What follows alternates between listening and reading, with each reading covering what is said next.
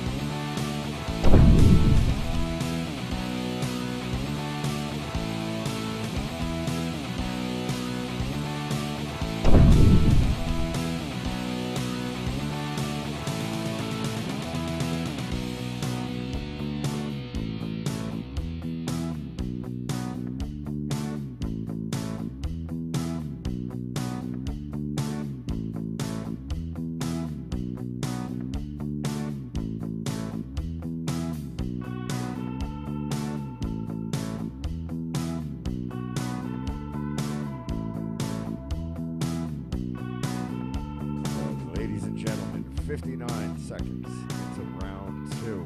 Winner by TKO due to strikes out of the red corner, Team United, Armando Mendez.